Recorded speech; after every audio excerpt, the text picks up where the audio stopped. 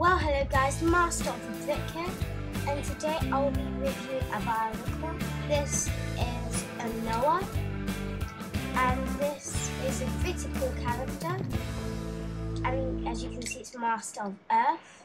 This is ages 8 to 14, and set number 70789, which is pretty cool. And as you can see, you've got the skull spider, and here is the back.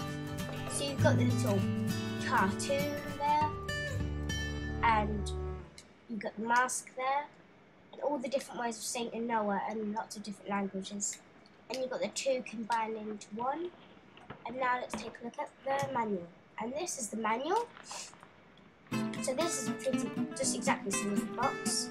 You've got the Lloyd Win there on the back and all of the Toa, which I do have all of them. And then you've got the two into one there. You can get the instructions of flying.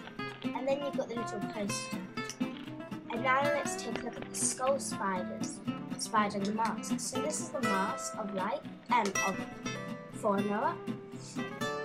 And this is pretty cool. As you can see, just attached it onto the head, like all of the new ankles and you've got this coloured skull spider, which is very nice. I definitely do like it. It's kind of hard to see. There we go, you can see that better.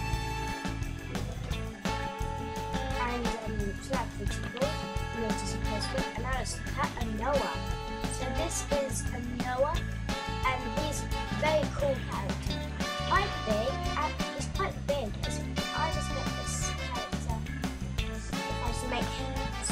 here he is with one arm.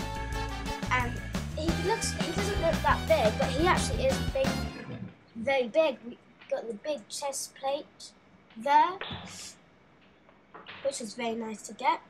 And then, um, so you can just see he's all armored up everywhere. He's got armor everywhere. It wouldn't be hard to take this guy down. I doubt that. And then you've got the legs there, which are looking pretty strong. You've got that new piece there, I believe, which is nice to get. And you get it on the arms. And um, so you get these big things here, which are pretty nice, which are pretty nice to get. And then you've got the helmet there, which is nice. And I just dropped it. It's just like Guy and everyone else. You just press it and then his head will come off. So I think you can see that just there.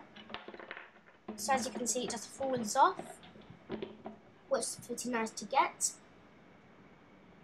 And um, actually, you see his big weapon. This is actually another weapon.